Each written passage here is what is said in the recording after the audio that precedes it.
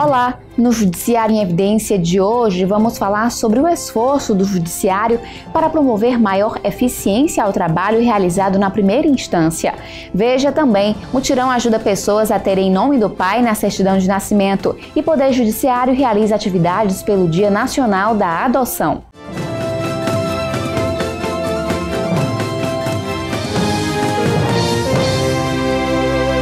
Poder Judiciário Cearense promoveu na segunda quinzena de maio a etapa inicial do primeiro mutirão do Pai Presente. A força-tarefa é coordenada pela Corregedoria Geral da Justiça do Ceará. A mobilização ocorreu no Fórum Clóvis Bevilacqua, na capital cearense. Nessa primeira etapa, foram chamadas mães de alunos da rede municipal de ensino que ainda não têm o nome do pai na certidão de nascimento. Elas compareceram para dar início ao processo de reconhecimento. A Alderina de Araújo tem três filhos, mas apenas a mais nova tem pai reconhecido. Os outros dois só possuem o registro da mãe. Agora ela vai tentar garantir o direito das crianças. Eu acho que é importante, porque é sinal que ela tem o pai e tem a mãe. Era direito dela tudo mais. Não vai faltar as cores dela.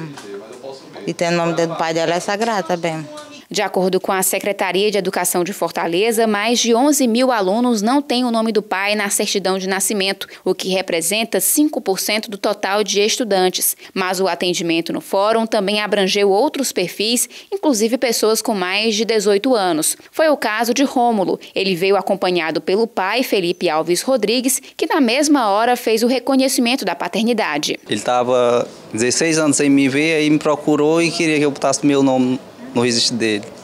Eu aproveitei o embalo que vim logo. Mais de 300 pessoas, entre mães e filhos, foram ao Fórum Clóvis Bevilacqua para reivindicar a paternidade durante o mutirão. Foram feitos 87 reconhecimentos voluntários e agendadas 197 audiências de conciliação. As sessões com os supostos pais serão realizadas na segunda etapa do mutirão, marcada para ocorrer entre os dias 18 e 29 de julho. Ele pode reconhecer o filho, ele pode condicionar o reconhecimento à realização do exame de DNA ou ele pode se negar a, a reconhecer o filho.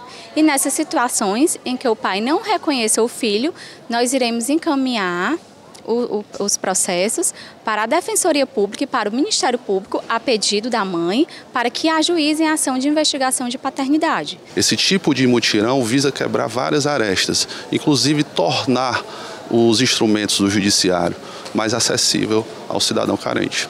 80 alunos do curso de Direito da Faculdade de Fanor participaram do mutirão. Estudantes de psicologia também se envolveram no evento. Em termos de aprendizado, é riquíssimo porque ele vai ter um contato com uma diversidade muito grande de matérias de direito de família, de direito registral. Mas eu acho que o maior ganho numa situação como essa é o ganho humano. Acho que eu não consigo ver formação jurídica sem formação humana.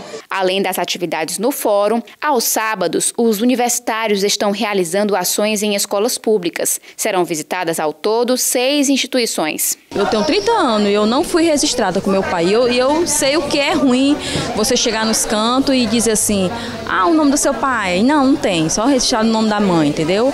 Aí eu não quero fazer a mesma coisa que, meu, que, que eu passei, que meu filho passe também, entendeu? É na escola que a criança sente o primeiro, a primeira negativa, né, a primeira tristeza de não ter um pai na sua certidão. Ele vai Festa dia dos pais, seu pai não está presente. Festa dia das mães, a mãe vai, mas o pai não está presente. Nem no registro e nem fisicamente. Então, esse projeto, mesmo o pai não assumindo a questão da sua afetividade com o filho, reconhecendo afetivamente, ele vai ter as responsabilidades que a justiça lhe impõe. O projeto Pai Presente foi implantado em agosto de 2010 pelo Conselho Nacional de Justiça. No Ceará já foram mais de 6 mil reconhecimentos voluntários de paternidade. Segundo o Corregedor-Geral da Justiça, desembargador Lincoln Araújo, a ideia é viabilizar que mais pessoas possam ter o benefício, que vai além da garantia de direitos. A importância desse projeto criado pela Corregedoria Nacional da Justiça é exatamente o aspecto social e o aspecto da cidadania. E colocar no papel, no registro de nascimento, o nome do pai que não tem ainda. Então tem essa, esse viés, essa força de cidadania e de cunho social. No dia 24 de maio, a terceira vara da Infância e Juventude de Fortaleza realizou a entrega de mais de 20 mandados de inscrição da sentença de adoção. O documento é a última etapa do processo e permite aos pais adotantes solicitar nova certidão de nascimento dos filhos, com um novo nome e sobrenome. Sayonara Oliveira e Fábio Martins são pais de Pietra, de 4 anos. Maria de Fátima dos Santos é mãe de Ana Luísa, de 2. Para eles, o papel que receberam vale muito. Para mim é o nascimento dela, né? Apesar da gente já estar tá bem próximo da outra, mas é como se ela estivesse nascendo e eu fosse receber nas minhas mãos a criança. É muito importante para mim, porque enquanto você não recebe, você acha que a criança não é sua. Eu, pelo menos, tive essa sensação. Consciente da importância da documentação, a camareira Maria Alta Oliveira regularizou a situação do filho Daniel, de 16 anos. Sempre trabalhei na rede hoteleira, a gente pouco tem tempo, né? Aí tentei dar entrada numa, uma vez no processo com o meu atual esposo. Aí não deu certo, paramos. Aí tem uns dois anos atrás, dois anos e meio. Esse menino, o negócio está mais do que na hora de ajeitar, porque, até porque eu quero voltar para Brasília, para onde minha família mora toda lá, né? Então, ajeitar a situação dele, né? Porque, além de dele ter todos os direitos perante, como cidadão, né? Perante a lei, como cidadão, legaliza a situação da gente também, né?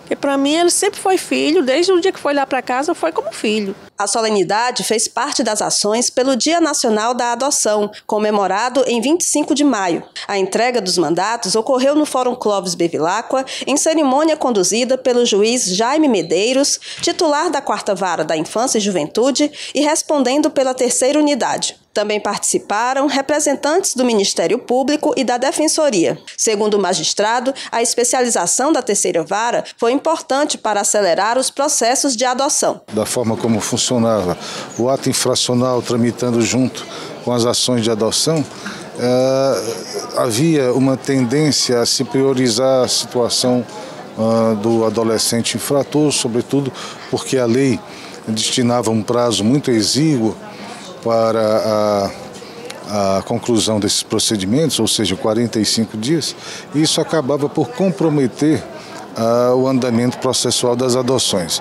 Com a especialização das varas, uh, a terceira vara da infância e juventude uh, logrou essa conquista né, e com isso houve uma agilização impressionante no ritmo da, das adoções, o que nos permite hoje estarmos aqui comemorando né, esse evento entregando uh, esses títulos aos requerentes. Viviane Nepomuceno pode vestir a camisa de mãe. Além de três filhos biológicos, ela adotou dois irmãos, de 5 e 4 anos. E hoje comemora oficialmente a inclusão de mais um membro na família, Ana Alicia, de 2 anos e 10 meses. Sempre eu disse: olha, um dia, quando eu tiver condições, eu vou adotar uma criança. Só que o destino me pregou foi três crianças. E a maior felicidade que eu tenho na minha vida são eles três, juntamente com os meus três filhos biológicos. No próximo bloco, vamos falar sobre melhoria dos serviços judiciais no primeiro grau de jurisdição. Voltamos já! A violência urbana é um problema de todos nós. O Poder Judiciário tem feito a sua parte. Um dos exemplos é o programa Um Novo Tempo, que leva qualidade à vida emocional, familiar e profissional dos apenados, abrindo-lhes novos horizontes. O poder público, a iniciativa privada e a sociedade civil têm a oportunidade de transformar juntos esta realidade. Venha nos ajudar neste trabalho. Tribunal de Justiça do Ceará está regulamentando o cadastro geral de peritos, tradutores e intérpretes para atender à determinação do novo Código de Processo Civil.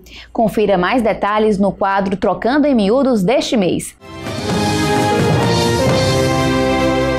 No processo judicial, o perito é quem auxilia o juiz na prova dos fatos, quando se faz necessário um conhecimento mais específico.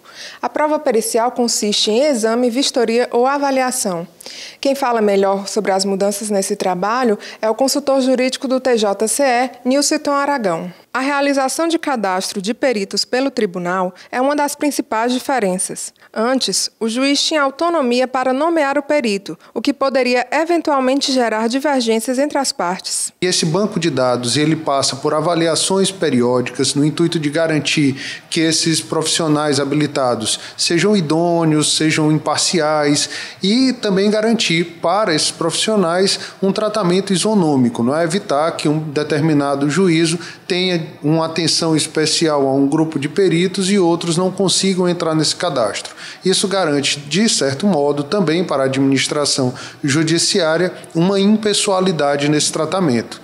É uma medida que, além de garantir maior efetividade à prestação jurisdicional pelo controle que se realiza, também garante administrativamente uma segurança maior. De certo modo, a legalidade vai estar mais atendida agora do, na, pelo novo CPC.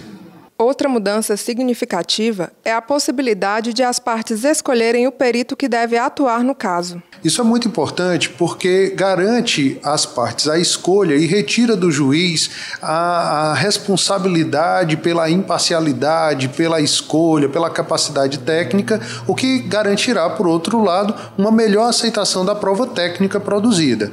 Isso está totalmente de acordo com a sistemática que foi apresentada pelo Código de maior estímulo estímulo ao diálogo das partes e da previsão de acordos processuais. Nós ficamos por aqui. No próximo mês, voltamos para aprofundar conhecimento sobre as leis que impactam na vida da sociedade. A Política Nacional de Atenção Prioritária ao Primeiro Grau de Jurisdição foi instituída pela Resolução 194 do Conselho Nacional de Justiça com o objetivo de estruturar e implementar medidas de melhoria dos serviços judiciais. Nesse sentido, o Poder Judiciário cearense instalou o Comitê Permanente para criar ações que confiram maior eficiência ao trabalho realizado na primeira instância. Para falar mais sobre o assunto, eu converso com o juiz Jorge Diciero Miranda Miranda. O magistrado participou de reunião da rede de priorização do primeiro grau, realizada em maio deste ano em Brasília. Seja bem-vindo. Obrigado. Doutor Jorge, por que o CNJ identificou a necessidade de priorizar políticas voltadas para o primeiro grau de jurisdição? Desde que o CNJ foi criado, ele se legitimou com a fixação de metas para ajustar a organização, o planejamento estratégico do Poder Judiciário. E ele agora identificou que o volume de demandas que existe no primeiro grau justificaria uma maior preocupação do CNJ na deliberação sobre os destinos do planejamento dos tribunais de justiça. Ele procura exatamente equalizar as forças de trabalho e os investimentos que são realizados entre o primeiro e o segundo grau, de modo a haver compatibilidade com o número de processos que demandam em cada uma das instâncias. E quais são as principais demandas dos juízes? Nós temos o diálogo interinstitucional, a governança interna, a equalização da força de trabalho propriamente dita e a implantação de sistemas de tecnologia em todo o primeiro grau. Então seriam praticamente essas as prioridades, a, a linha de atuação do Comitê de Valorização do Primeiro Grau. E os problemas enfrentados pela Justiça cearense são os mesmos em relação a outros estados do país? Nessa reunião que eu participei, eu percebi que havia uma distribuição dos tribunais de justiça em tribunais de grande porte, médio porte e pequeno porte.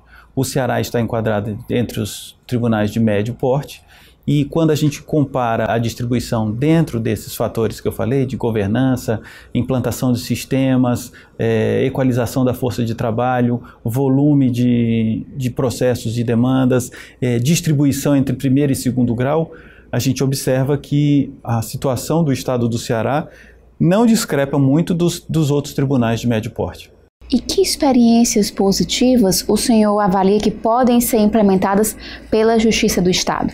Na própria reunião que aconteceu em Brasília, eles já identificaram algumas experiências exitosas que foram implantadas em outros tribunais de justiça, como, por exemplo, o sistema eletrônico de acompanhamento de execução penal, que aconteceu como plano modelo foi utilizado o sistema de, do Paraná, que vai ser estendido a todos os outros estados. É facultado aos outros estados a implantação desse sistema eletrônico de acompanhamento de presos. Os tribunais devem migrar para um sistema informatizado e depois assegurar pelo menos a interoperabilidade entre os sistemas. Ou seja, o tribunal não é obrigado a aderir a essa proposta do CNJ, mas é obrigado a implantar um sistema de acompanhamento de presos que seja eletrônico e que assegure a comunicação por esse sistema que vai ser adotado nacionalmente. Outra proposta do CNJ foi exatamente a, a, a mediação eletrônica.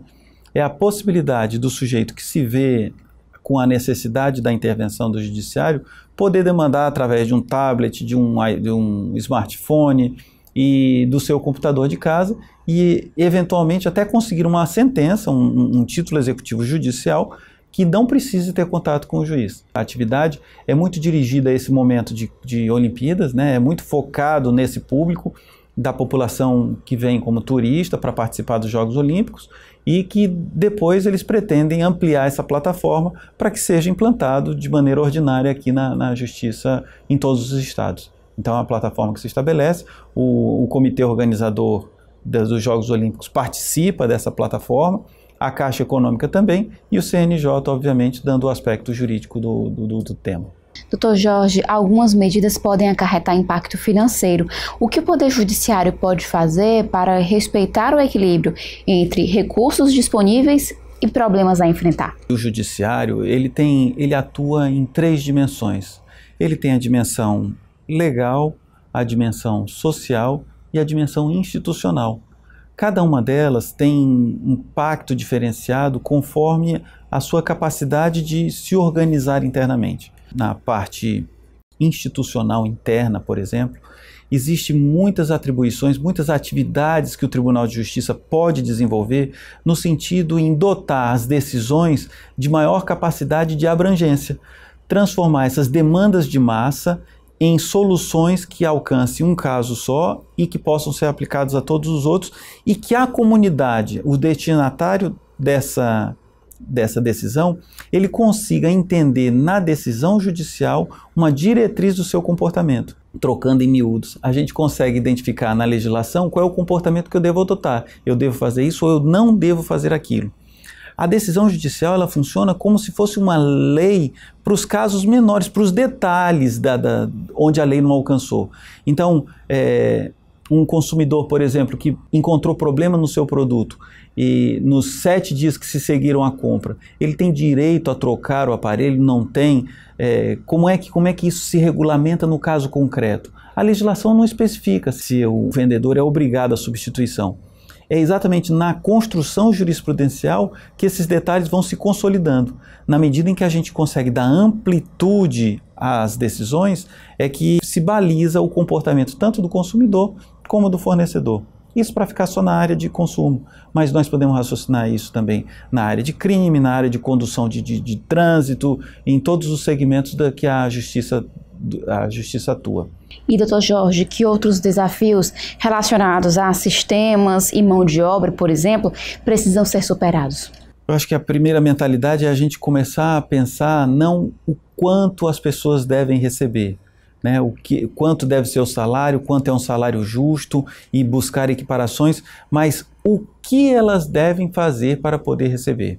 Eu acho que enquanto a gente não começar a pensar que um, um salário, um vencimento, uma contraprestação, uma remuneração, é, ela deve estar necessariamente vinculada a uma prestação de serviço. A necessidade de produzir estatísticas, metas, é, de é, apresentar diretrizes claras sobre a qualificação e e produtividade do servidor dentro do serviço público, e aí servidor vamos abranger aí desembargadores, juízes, todo mundo. Enquanto não se conseguir identificar que o salário que a gente recebe no final do mês está vinculado a uma prestação mínima de um serviço, nós estaremos sempre girando em torno da discussão de quanto se deve receber e não o que fazer para poder receber. Então, essa daí gera uma discussão de conteúdo infinito, as pessoas têm sempre demandas que não são satisfeitas com o salário que recebe, e, no entanto, fica-se disperso a, qual o objetivo que a gente pretende alcançar, quais são os, os, resultados que a gente pode obter com o esforço econômico que o tribunal e o Estado, do, e o Estado fazem com o Poder Judiciário. Vamos para um breve intervalo e daqui a pouco voltamos a falar sobre a política de atenção prioritária ao primeiro grau. Caducar, perder a validade ou a força de um direito em decorrência do tempo, ou seja, superado o prazo legal, o titular não pode mais exercer o direito. A violência urbana é um problema de todos nós. O Poder Judiciário tem feito a sua parte. Um dos exemplos é o programa Um Novo Tempo, que leva qualidade à vida emocional, familiar e profissional dos apenados, abrindo-lhes novos horizontes. O poder público, a iniciativa privada e a sociedade civil têm a oportunidade de transformar juntos esta realidade. Venha nos ajudar neste trabalho. Estamos de volta para falar sobre melhoria dos serviços judiciais. Nosso convidado é o juiz Jorge Judiciero, membro do Comitê Gestor da Política de Atenção Prioritária ao Primeiro Grau. Doutor Jorge, a mediação e a conciliação pré-processuais são vistas como uma solução para desafogar as demandas judiciais. O que o Poder Judiciário tem feito para fomentar essas ações? Há uma deliberação do CNJ, inclusive, da criação de dos Centros Judiciais de, de Solução de Conflitos, SEJUSC, que está sendo aparelhada pelo Tribunal de Justiça. Houve movimentação interna dos servidores para preenchimento dos quadros é, e, e, a própria estruturação, colocação das salas e pessoal adequado e sistema para isso daí. É, mas é, eu queria chamar a atenção para o aspecto mais do judiciário enquanto poder. O judiciário é a instância de solução de conflitos, e a busca de solução extrajudicial, de, de solução de conflitos, ela traz para dentro do processo uma etapa que antes não era contemplada. Apesar de já haver uma, uma tendência de priorização para soluções não litigiosas, é, é, é somente depois da, da, do Código de Processo Civil é que se instaura esse novo momento em que a audiência conciliatória passa a fazer parte do processo. Então, além disso, há uma mudança de mentalidade no judiciário como um todo, existe uma, uma, um reconhecimento da priorização desse tipo de solução e o CNJ tem emitido deliberações constantes no sentido de treinamento, qualificação e equipagem dessas, desses dessa estrutura de solução extrajudicial. Ações de políticas públicas envolvendo projetos de ressocialização e parceria com instituições para a promoção de mutirões também são importantes no esforço de melhoria do primeiro grau de jurisdição? São. A ressocialização é tão importante que talvez fosse melhor adequada se fosse feita por pessoas que são preparadas especificamente para isso. O judiciário, a formação em direito, ela nos, nos encaminha para soluções de litígio através do ferramental do direito. A ressocialização, a readaptação de, de egressos do sistema carcerário, talvez ele seja melhor a, a, acompanhado por sociólogos, por terapeutas, pessoas que têm uma formação diferente da formação jurídica. E por esse motivo, a Secretaria de Ação Social talvez se apropriasse dessa atribuição com melhor qualidade do que faz o Judiciário. Obviamente que a gente não, o Judiciário não pode se, se afastar dessa obrigação, porque afinal de contas, isso está previsto dentro das responsabilidades da execução penal, a ressocialização. Mas me parece que um suporte extrajurídico seria muito mais desejável do que propriamente todas essas etapas se desenvolverem sob os auspícios e sobre a responsabilidade financeira do judiciário. E no que diz respeito aos mutirões, é, a visão que eu, que eu identifico deles é que eles são uma tentativa de uma produção quantitativa, é o que se chama de pacificação social. Você resolve a questão porque, afinal de contas, o sujeito se, se conforma em obter uma solução ágil em curto prazo porque ele não tem a perspectiva de uma solução adequada em prazo algum. Então, nós precisamos redimensionar essa, essa, essa dicotomia que se estabelece nos mutirões. Doutor Jorge, qual o papel do Comitê Gestor da Política de Atenção Prioritária ao Primeiro Grau, do TJCE, e quem compõe o grupo? O comitê ele, ele tem a, a proposta de fomentar, acompanhar e executar é, propostas de, de, políticas internas do tribunal. Identifica é, problemas que podem comprometer a efetividade da atuação do juiz de primeiro grau, é, discute qual seria a melhor forma de encaminhamento e, obviamente, que essa discussão e esse encaminhamento deve ser amadurecido diante de um orçamento restrito que nós temos. Então, é uma proposta adequada à nossa capacidade orçamentária. E aí, uma vez encaminhado, gera para o gestor, para o presidente do Tribunal de Justiça, o compromisso de fundamentar as deliberações de política tribunalícia, ou seja, é, quando se propõe alguma coisa, deve-se fazer isso com responsabilidade, de modo que o presidente do Tribunal de Justiça, que é o ordenador de despesa, que é o gestor, possa afastá-las ou aderir a elas, incluindo num plano de, de, de execução, é, com fundamentação. E a partir daí, o comitê passa a acompanhar, depois de fomentada a ideia e aderido, ele acompanha e, inclusive, ajuda na execução. A composição eclética do comitê é que ajuda na, na identificação dessas necessidades. O comitê é composto por três juízes, um é, indicado pela presidente do Tribunal de Justiça, outro indicado pelos magistrados que votam e outro pela corregedoria. Temos também servidores que são é, escolhidos através de eleição e o, o comitê é presidido pela, pela desembargadora, desembargadora Lígia, que é atualmente que está à frente dos trabalhos do comitê. E o que o plano estratégico do Judiciário Cearense prevê para a melhoria dos serviços do primeiro grau de jurisdição? O último provimento do CNJ nesse sentido foi de equalização das forças de trabalho. Então ele passa diretrizes de como deve ser a distribuição, quais os critérios que são utilizados, e o Tribunal de Justiça também já replicou essa ideia aqui no, no, no, no Ceará, e, e estamos na fase de levantamento dessa força de trabalho e, e, e aplicação das tabelas, das, dos, das equações que foram, foram propostas pelo CNJ, para que a gente saiba quais as forças de trabalho que devem ser redistribuídas e para onde devem ser encaminhadas. É um trabalho contínuo? Contínuo. Eu conversei com o juiz Jorge Diciero sobre ações de priorização do primeiro grau. Obrigada pela entrevista.